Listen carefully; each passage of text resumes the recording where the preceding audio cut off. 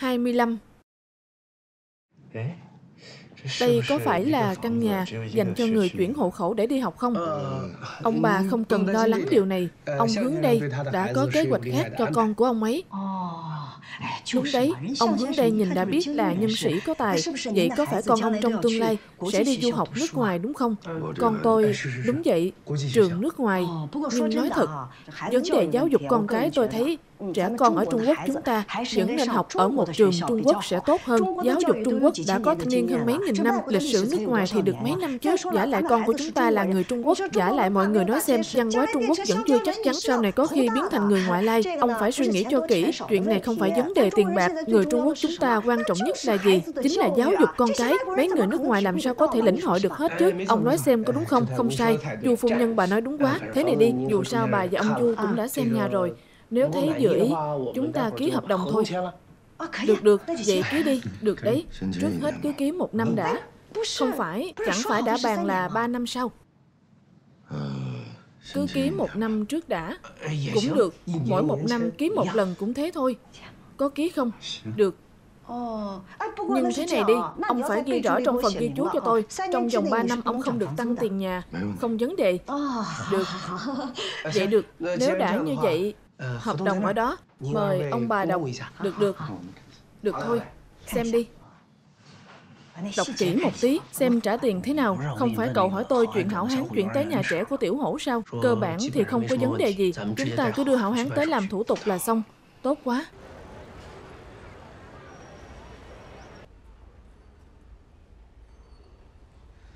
Tối qua tôi ăn cơm cùng với vài người của hãng công quan. Họ có tặng tôi một thẻ mua hàng Cô cầm lấy đi Chị. Sao chị lại đối xử tốt với em như vậy? Chị biết không? Hôm đó Elisa ở trước mặt bao nhiêu người Trách mắng em rằng Em làm công ty mất mặt Làm em vô cùng xấu hổ Không dám lên sân khấu. Cô ta thì vừa mắc nổi ai chứ? Đến chủ tịch mà cô ta chẳng coi ra gì. Cô biết không? Cô ta còn viết một bản báo cáo bỏ qua chủ tịch trực tiếp gửi thẳng tới tổng bộ. Cô ta không biết làm việc theo quy tắc sao? Có vẻ cô ta nắm rõ được cục diện. Nếu muốn biết cô ta muốn làm gì, báo cáo cho chủ tịch, chủ tịch sẽ bàn bạc với tôi. Cho nên cô ta mới làm những việc không theo quy tắc này. Vậy liệu đó có phải là báo cáo từ chức hay không? Em gái ngốc của tôi, sao cô có thể ngây thơ như thế? Tôi còn mong cô ta từ chức đi cho rồi. Từ chức mà cần phải tốn công như vậy sao? Vậy tiếp theo chúng ta nên làm gì? Rau trộn。Tôi sẽ chơi đùa với cô ta Chị, chị đối tốt với em như vậy Cho dù chị có làm gì đi nữa Em cũng ủng hộ chị Ở bên cạnh chị。Biết rồi, mau đi làm việc đi。Vậy cái này em xin nhận。Đi đi。Cảm ơn chị。Có chuyện gì cứ gọi em nhé。Tạm biệt。Được rồi Mọi người cứ thực hiện theo những gì mà chủ biên vừa nói. Tan hợp.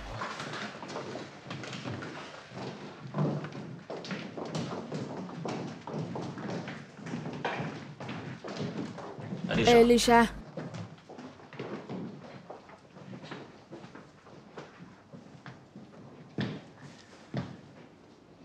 Dù sao tôi cũng là cấp trên của cô. Cô trực tiếp vượt cấp Báo cáo với tổng bộ như vậy Có phải là quá thiếu tôn trọng tôi không? Xin lỗi chủ tịch. Đã làm như vậy Vậy tôi càng phải công bằng hơn nữa. Cô vẫn còn trẻ. Tuy cô có bỏ qua tôi Trực tiếp gửi báo cáo lên cấp trên. Nhưng nhân tâm thì sao? Vị trí của tôi Đối với cấp trên phải khôn khéo. Đối với cấp dưới cũng phải biết nhắn nhủ Phải biết thuyết phục đám đông Trước khi cô tới Vivian là người chịu trách nhiệm chủ biên Bao gồm cả văn địch tiền nhiệm. Mọi người mỗi ngày đều rất bình yên. Bây giờ thì chỉ biết ăn bữa hôm lo bữa mai. Mọi người đều rất hoài niệm những gì đã qua. Tôi hiểu. Ý kiến của tổng bộ cũng không nhất định là ý kiến quyết định. Vì quyền quyết định vẫn nằm trong tay ông. Win có hơn 30 nhân viên. Mỗi người đều là chủ. Đều có quyền biết sự thật Và quyền phát biểu ý kiến. Cô hiểu được nỗi khổ của tôi là tốt. Tôi hiểu. Cảm ơn.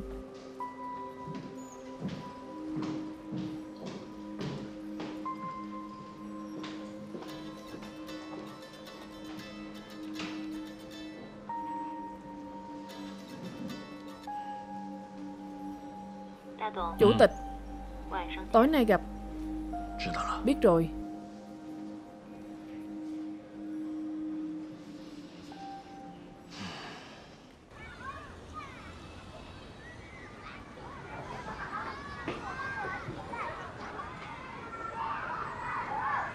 Con trai Sau này con sẽ đi học ở trường mẫu giáo này. Có được không? Được ạ, à, con đồng ý. Tiểu hổ cũng học trường mẫu giáo này. Sau này bọn con là bạn học rồi. Con có biết bố vốn định cho con tiếp tục học ở nhà trẻ cũ. Nhưng Chỗ này gần nhà hơn, Bố tiện đón con hơn. Chỗ này không chỉ gần nhà, Hơn nữa cũng có nhiều bạn học. Có thật không? Thật ạ. À. Xin chào. Anh là bố của Hảo Hán, đúng không? Đúng là tôi. Anh cứ giao cháu cho chúng tôi. Anh cứ yên tâm. Hảo Hán ngoan, Cô giáo đưa con đi gặp các bạn có được không? Được ạ. À. Đi thôi, Tạm biệt bố. Làm phiền cô giáo. Cô ơi, Trịnh Tiểu Hổ có phải học ở đây không ạ? À? Đúng rồi, Tiểu Hổ cũng học ở đây. Tiểu hổ ở đây này. Tiểu hổ. Tiểu hổ.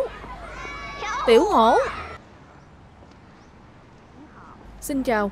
Số máy quý khách vừa gọi hiện đang tắt máy. Xin lỗi.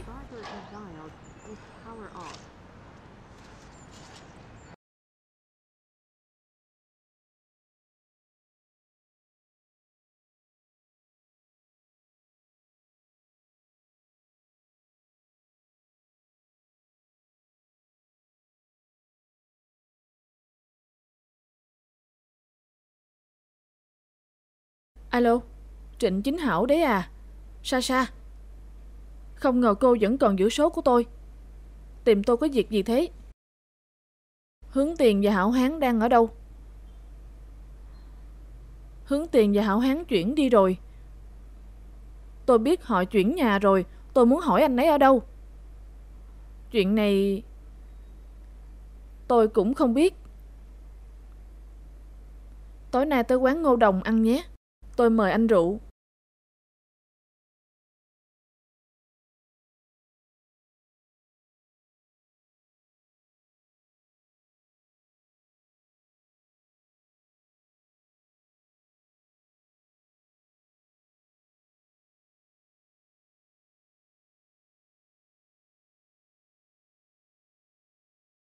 Uống ít thôi Elisa. Hồ Nam đâu? Tôi gọi anh ấy mấy lần rồi Anh ấy không nghe máy. Tôi không quan tâm. Anh gọi anh ta tới cho tôi. Tiểu Sa Sa Có chuyện gì vậy? Uống nhiều rượu quá rồi Anh để ý cô ấy nhé. Tủ lượng cũng được đấy. Anh cũng muốn đi. Tôi không uống được. Tôi còn phải lái xe. Với lại Nếu tôi uống nhiều Lát nữa ai đưa cô về Phục vụ Cho tôi một nước cam Được Tên xấu xa. Tôi sớm đã nhìn ra. Sao tự nhiên tôi thành người xấu vậy? Tôi thích gọi gì thì gọi Cũng không bao giờ chơi trò biến mất. Tôi đáng tin hơn hướng tiền nhiều đấy. Bây giờ tôi Đang vô cùng nghi ngờ Về nhân phẩm của anh ta Cô uống nhiều như vậy là vì hướng tiền sao? Đến chào hỏi mà anh ta cũng không thèm làm Đã biến mất rồi. Anh ta bị bệnh Chính tôi là người tới chăm sóc. Tôi còn là tiên nữ tỷ tỷ của Hảo Hán cơ mà. Sao anh ta lại Anh ta còn chặn số của tôi nữa? Tôi không thể liên lạc được với anh ấy. Tôi cũng không biết anh ấy chuyển đi đâu Cô ở sát vách nhà cậu ấy. Vậy mà cậu ấy chuyển nhà đi ồn ào như vậy Cô không phát hiện ra sao? Tôi không phát hiện ra được. Anh ấy cố ý né tránh tôi. Thật ra anh ấy rất quan tâm tôi. Anh ấy biết tôi đi cỡ dài bao nhiêu. Anh ấy còn giúp tôi tìm chìa khóa. Anh ấy thực sự rất ấm áp. Cô còn nhắc tới việc giày dép nữa. Nhắc tới là tôi lại bực Sao cô biết Đôi giày đó là cậu ấy tặng. Chẳng phải hôm đó cô đều đã thấy rồi sao? Giày và qua đều là tôi mua. Tôi tự tay mang tới cho cô. Còn chuyện chìa khóa mà cô nói Cái chìa khóa đó cũng là tôi. Anh đừng tưởng tôi không biết. Anh ấy nhờ anh tặng giày. Là anh ấy không tiện. Anh ấy chính là giống như con nhím. Nhìn thì có vẻ là người đi đâm. Thực ra lại chẳng đâm được ai mà vô cùng mềm mại. Được rồi, được rồi, cô đừng uống nữa. Uống không ít rồi. Còn nào là nhím, nào là mềm mại. Cô xem phim thần tượng nhiều quá rồi sao? Tôi đây đau tim quá rồi. Anh là bên cạnh anh ấy Là người bạn duy nhất mà tôi quen. Anh chắc chắn biết anh ấy đang ở đâu. Tôi Tôi thật sự không biết.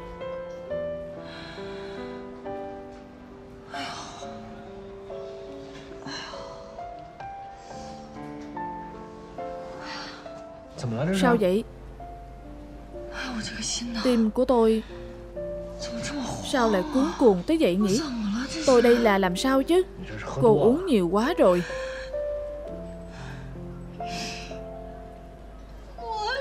Tôi thất tình rồi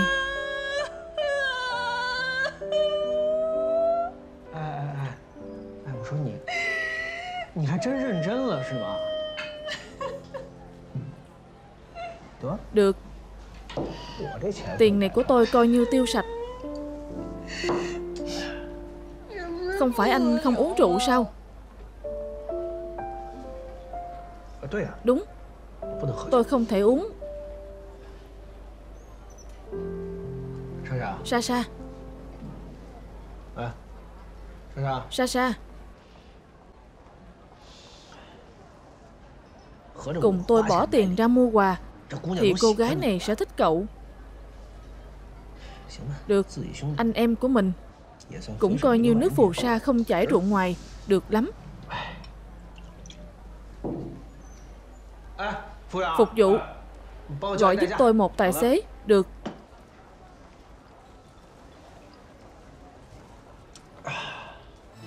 Ngày mai phương án cải cách của Elisa Sẽ đưa tới tay quản lý cao cấp.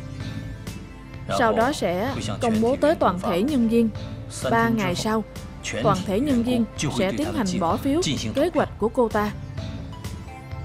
Ông không phải nói là bỏ phiếu chọn chủ biên sao Sao lại trở thành phương án cải cách? Dù rằng lần này không phải là về bỏ phiếu vị trí chủ biên Nhưng nếu như Elisa thất bại Thì cô nói xem vị trí chủ biên này của cô ta có ngồi vững được không?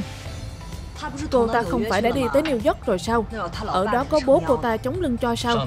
Phía trên sẽ không nhắc tới người nhà Ý kiến của tôi, ý kiến của tổng bộ Còn có ý kiến của toàn thể nhân viên. Cuộc bầu phiếu này sắp xếp tỷ lệ Phải được thông qua một nửa này Mới có thể thực thi kế hoạch của cô ta. Đây là bước đầu Còn bước thứ hai. Bước hai chính là xem kế hoạch của cô ta có khả năng không. Đây chính là theo ý trời. Dựa vào thực tại Con số và lượng tiêu thụ bán ra Thực sự là nghe con không sợ cọp. Báo giấy hiện giờ Ngày thêm bại hoại Cô ta còn dám nói tới lượng tiêu thụ. Số lượng in ấn nửa năm nay của chúng ta Hạ xuống 3 phần 2 Không phải tôi nói với cô rồi sao? Cuộc đời này chính là giống như biểu diễn thể thao. Quay đầu lại được lại càng tốt Rơi xuống cũng rất đẹp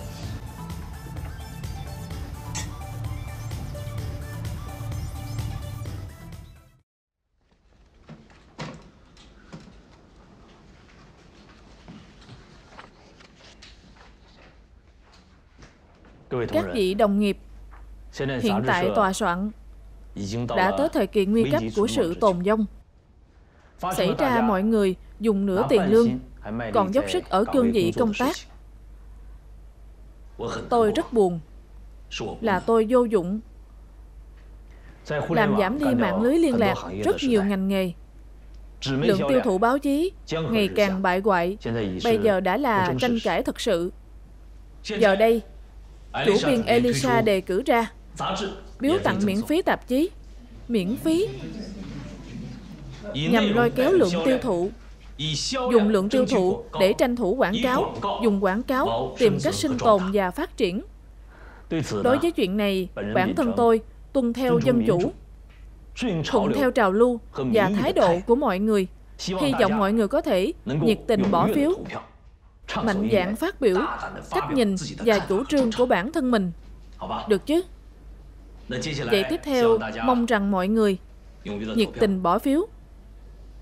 Chúng ta bắt đầu nhé.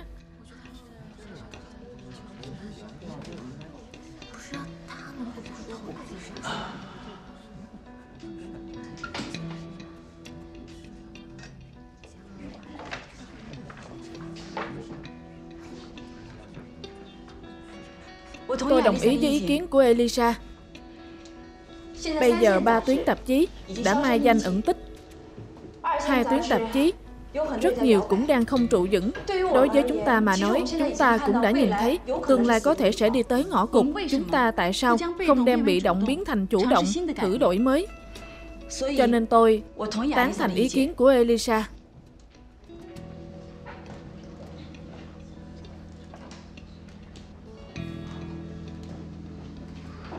Hôm nay cô ấy nói rất nhiều lời hay thật. Tôi muốn đứng nơi này nói vài câu. Tôi tới Quyên được 3 năm rồi. Biên tập viên luôn là nghề mà tôi rất thích. Tôi vẫn muốn tiếp tục làm việc ở đây. Tôi không thích điều mà người khác gọi là thách thức, đổi mới, thiết lập lên trên cuộc sống của tôi. Cho nên tôi lựa chọn cái mà cho tôi sự ổn định còn có thể diện của người làm việc.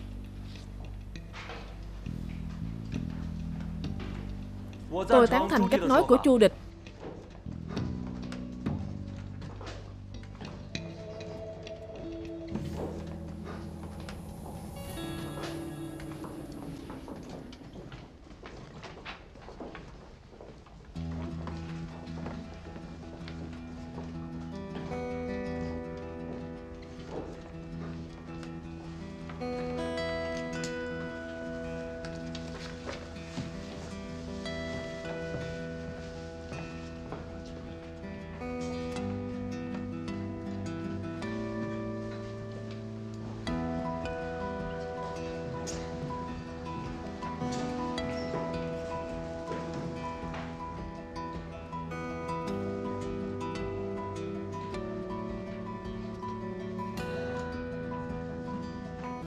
Mọi người đều bỏ phiếu xong rồi chứ.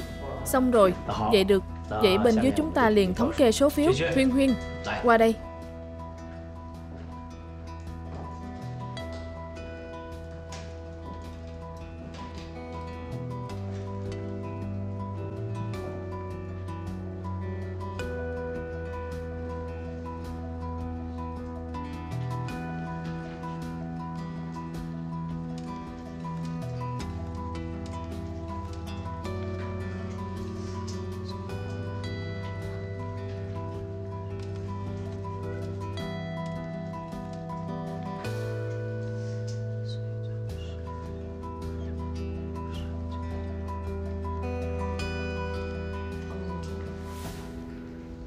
Số phiếu cuối cùng chiếm 50%, cho nên kết quả là bằng nhau. Còn không trắng phiếu sao? Không phải, sao lại bằng nhau chứ? Đúng vậy.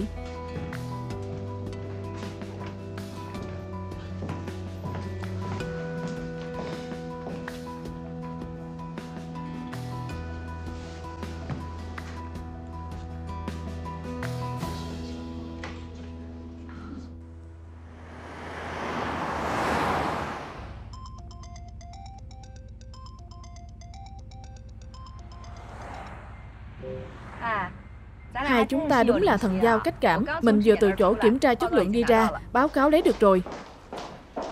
Nói như nào, Giống như cậu nghĩ, Không có vấn đề. Mình đoán được rồi. Bước tiếp theo cậu chuẩn bị làm như nào? Tiếp theo mình sẽ nghĩ tiếp. Đợi mình nghĩ xong rồi sẽ nói với cậu. Mình nói cho cậu biết, Chuyện này cậu phải nghe mình. Cậu Cái người này nói cúp thì cúp liền. Mình khổ cực như vậy, Cũng không biết khen mình một tiếng. Thật là. Nào nào mời ngồi. Khát nước quá. Hết nước rồi. Thêm nước đi. Tôi rót cho cậu. Không sao, Không cần.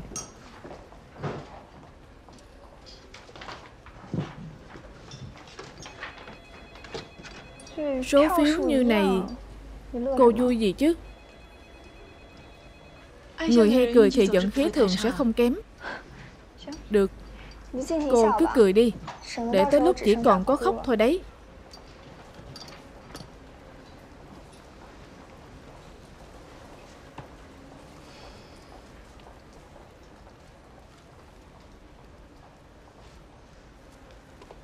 Phim được thuyết minh bởi Banco TV Việt Nam. Chúc các bạn xem phim vui vẻ.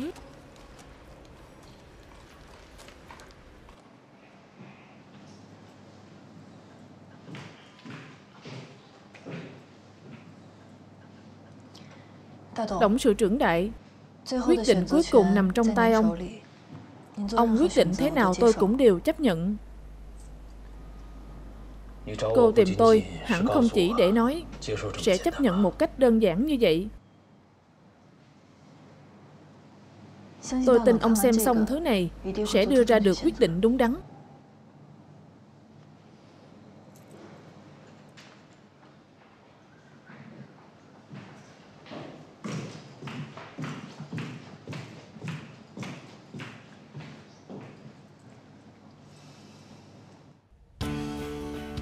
thành lập ở Trung Quốc đại lục đã được 20 năm.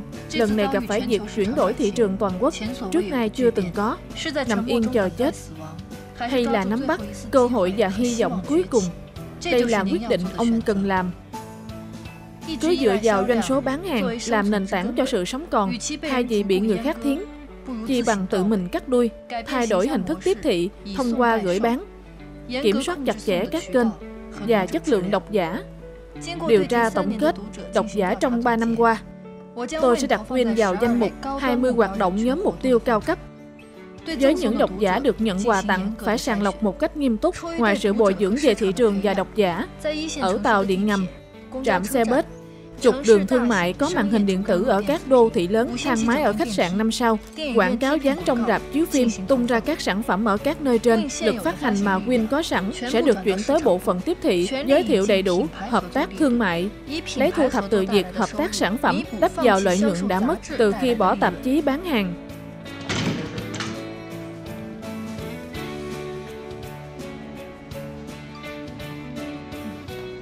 Được rồi, Win đã làm nên một thương hiệu mới trên lĩnh vực truyền thông. Cách thức lấy lùi mà tiếng này, sao lại nghĩ ra được vậy? Xu hướng chung thôi. Đó là sự lựa chọn tất yếu của thời đại. Vậy hiện tại tạp chí của Win đều dành để tặng hết sao? Đúng thế. Vậy những độc giả trong quá khứ hoặc những độc giả đang chờ đợi họ sẽ có được bằng cách nào? Điều này thuộc về phòng phát triển khách hàng. Bình thường, những khách hàng đặt hàng trên 36 tháng, chúng tôi đều tặng miễn phí một số khách hàng mới, họ chỉ cần tham gia vào hoạt động của Win cũng sẽ có cơ hội cầm trên tay ấn phẩm miễn phí. Nếu tặng đi toàn bộ như vậy, chi phí sản xuất hẳn sẽ gây áp lực rất lớn cho tòa soạn. Cô có từng nghĩ như vậy chiến dịch này sẽ thất bại hay không? Nếu không thành công tôi xin từ chức. Vậy hiện tại hoạt động diễn ra như thế nào rồi? Cũng được, ở các phòng nghỉ cao cấp, tại sân bay, rồi các câu lạc bộ VIP đều có những ấn phẩm miễn phí, thậm chí có thể mang đi. Trên thực tế, lượng in ấn của Win đã giảm 1 phần 3 so với trước. Nhưng thành tích trên thị trường cao lên gấp 4 lần. 4 lần sau, thành công rồi. Có thể nói, địa vị trên thị trường của Win và khả năng thu hút độc giả đã tăng lên. Xin chúc mừng cô. Cảm ơn. Nhưng cô có biết cách làm này của cô đã tạo nên làn sóng phản đối dữ dội từ những người cùng ngành không? Tư duy mới đều cần đập bỏ những luật chơi cũ, xóa bỏ quy tắc chơi cũ. Tổn thất một phần lợi ích là chuyện chắc chắn sẽ xảy ra. Vậy cô nghĩ thế nào việc người ta coi Win là một tạp chí quảng cáo? Win tạp chí thời trang, trong nó sẽ có những bài viết về thái độ cuộc sống thời thượng. Tạp chí là một sân chơi, cũng cần có những phát ngôn phù hợp với tiêu chuẩn của sản phẩm. Chúng tôi luôn lựa chọn sẽ không nhận tiền quảng cáo một cách ngu muội Chúng tôi sẽ chọn những quảng cáo thú vị và hữu ích. Đương nhiên, những quảng cáo mà chúng tôi chọn sẽ không có thêm nhiều sức hút. Tôi hiểu ý của cô. Thực ra, với những lời đồn đoán, cô không để ý tới phải không? Tôi không quan tâm. Thành công rồi, Elisa thành công rồi. Đúng rồi Rudy, Elisa thành công rồi. Tòa soạn của chúng ta được cứu rồi, giữ được bát cơm rồi vui không? Tốt quá rồi.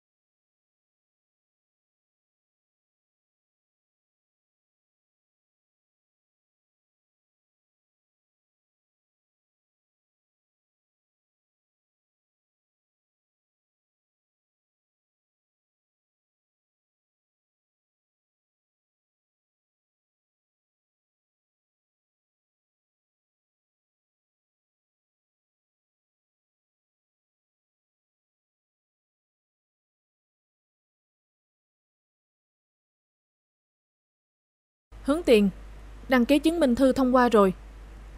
Làm cho tốt nhé, cảm ơn ông.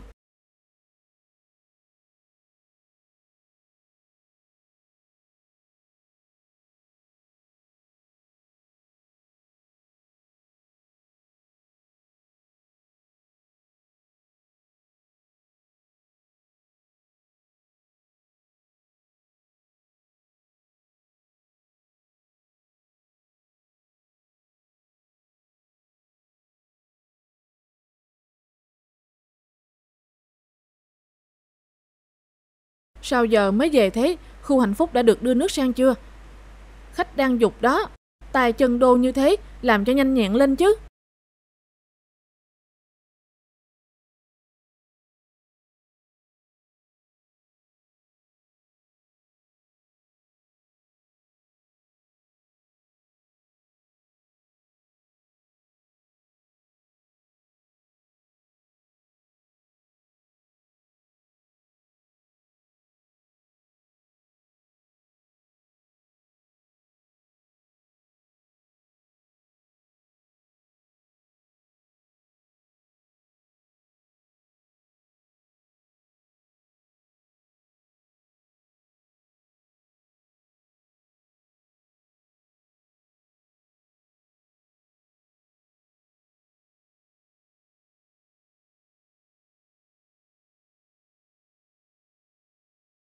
Chưa về sao?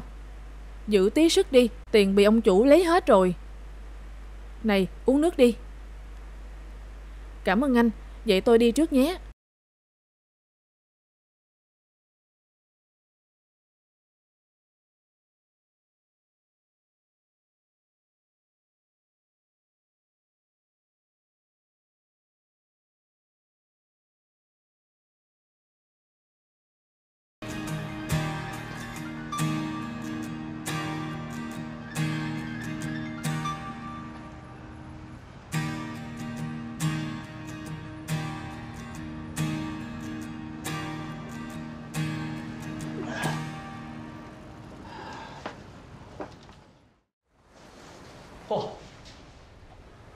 Sao thế này? Nhà cửa sao loạn thế? Không có chỗ nào đặt chân xuống được. Hảo hán, chú mang đồ ăn cho cháu này. Cháu chào chú Trịnh Chính. Sao nhà cửa bừa bộn thế? Bố cháu đâu? Bố cháu đang nằm bất động ngoài kia.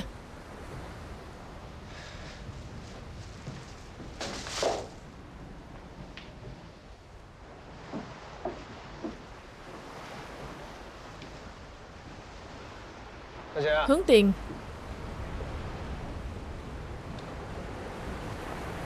Anh sao thế? Chẳng sao cả. Tôi thấy mệt. Tôi tìm được việc rồi. Nhanh như thế sao? Việc gì thế? Đưa nước. Đưa nước sao? Anh điên sao? Đấy mà cũng gọi là công việc sao? Sao lại không thể gọi là công việc Tôi tính kỹ rồi, chỉ cần tôi chăm chỉ một chút, mỗi tháng cũng đủ chi tiêu.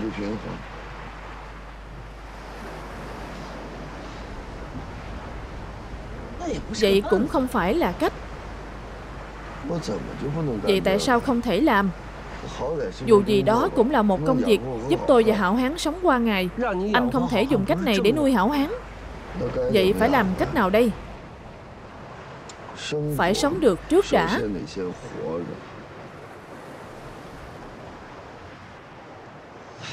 Tôi mang ít đồ ăn cho anh đó. Cậu với Hảo Hán ăn chút gì đó đi. Đừng uống nữa. Uống bao nhiêu rồi không biết nữa.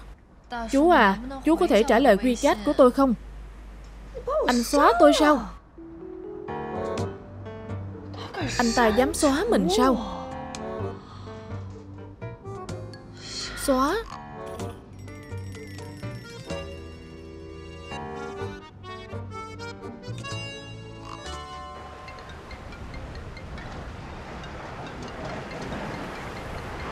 Cậu đi ăn với Hảo Hán đi. Tôi đi ra ngoài dạo chút. Cậu đi đâu? Đi dạo quanh thôi. Hảo Hán. Ngoan ngoãn ở nhà đợi nhé. Bố đi đâu đấy? Bố ra ngoài đi dạo. Chưa ăn cơm mà Không ăn sao? Hảo Hán thiếu gia Có đói không? Đói rồi Vậy chú đi ăn với cháu. Có điều ăn cơm xong Cháu phải thu dọn cái ổ này với chú một chút. Được ạ. à. Nào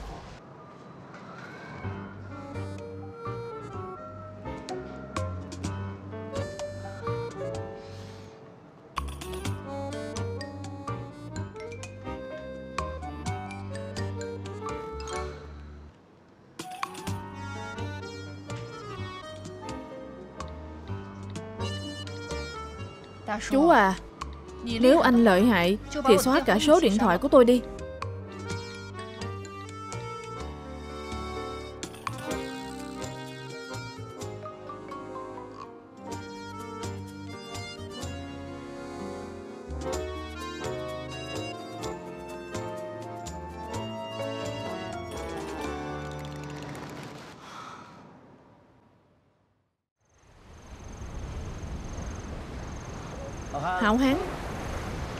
Ly với chú nào. Cảm ơn. Này.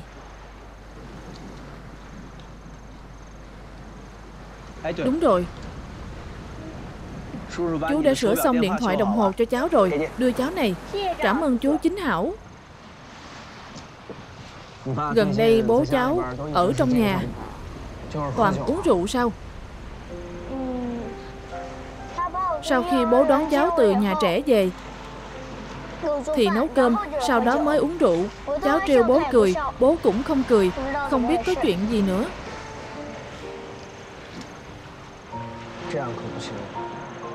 Chúng ta phải nghĩ cách. Chú thấy Chuyện này chúng ta phải tìm một cứu binh. Cứu binh sao? Chú nói là chị tiên nữ sao? Nhưng chị tiên nữ Trước đó đã gửi rất nhiều tin nhắn. Còn gọi điện cho bố cháu. Đúng rồi Còn có ảnh nữa. Đúng là ảnh. Ảnh gì? Chính là ảnh tự sướng. Nhưng bố cháu cứ nhất quyết nói là không phải chị ấy. Thế này có được không? Dùng điện thoại đồng hồ của cháu. Bây giờ gọi điện cho chị tiên nữ của cháu. Được, đừng nói là chú nói đấy nhé.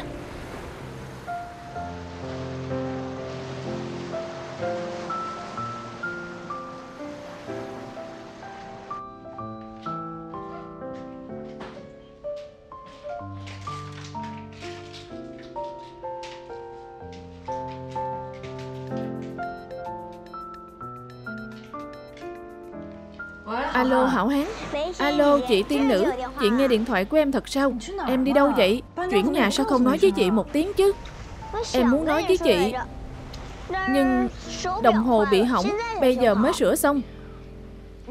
Vậy bây giờ em ở đâu? Chị đi tìm em. Ở đường Lâm Hải. Số 95 đường Lâm Hải. Đường Lâm Hải. Quán bar Chỗ này trước đây là quán bar. Chị tiên nữ. Chị dùng chỉ đường là có thể tìm thấy. Được rồi, chị biết rồi. Tạm biệt. Xong rồi.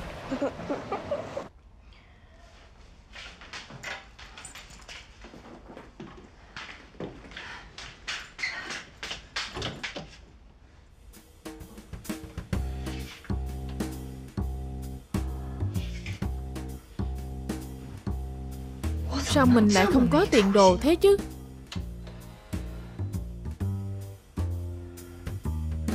Không thể như vậy. Mình phải cao lãnh. Cao lãnh. Cao lãnh.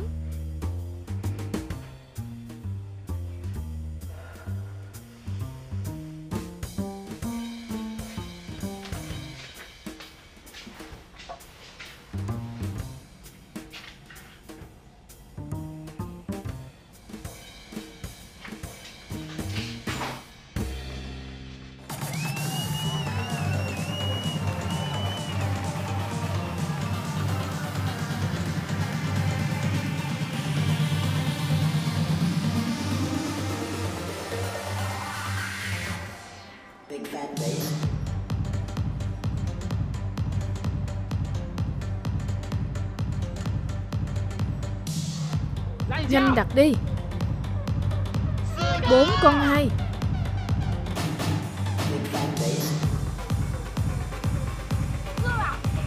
Uống. Được rồi Uống một ly đi.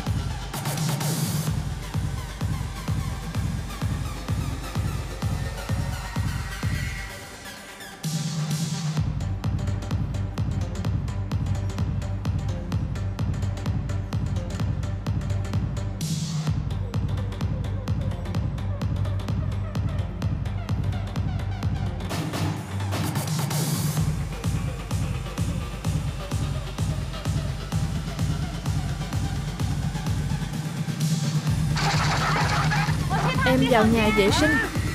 Em vào nhà vệ sinh. Đi đi.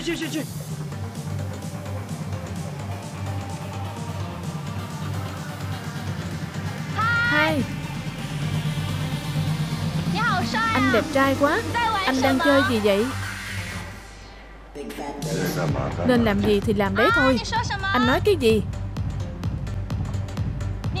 Anh đẹp trai như vậy, Đừng không để ý tới em mà.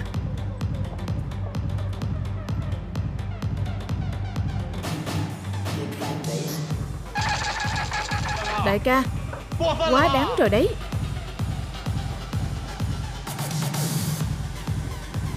Muốn biết tôi nói gì đúng không? Người anh em Làm gì vậy?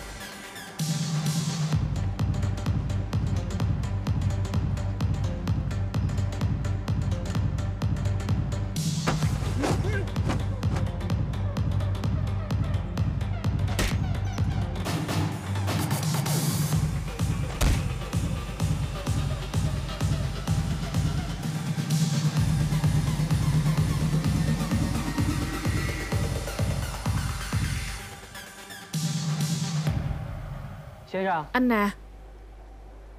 Anh à. Anh gì ơi? Làm thế nào đây? Sao tôi biết được? Uống sai rồi. Sao bố cháu còn chưa về thế?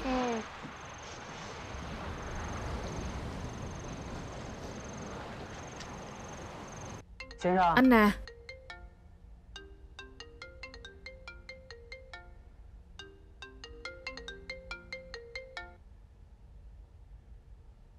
Hướng tiền. Đã mấy giờ rồi sao còn chưa về? Ở đâu đấy? Có cần con nữa không hả? Chào anh. Tôi không phải chủ nhân chiếc điện thoại này. Tôi là nhân viên ở sàn nhảy. Bạn của anh đã uống sai ở chỗ chúng tôi rồi. Anh là bạn anh ấy đúng chứ? Có thể phiền anh tới đây đón anh ấy không? Được rồi. Vậy phiền cậu giúp tôi canh chừng anh ấy. Tôi qua đó liền. Bố cháu lại uống sai ở đó rồi. Đi thôi Đi đón ông ấy với chú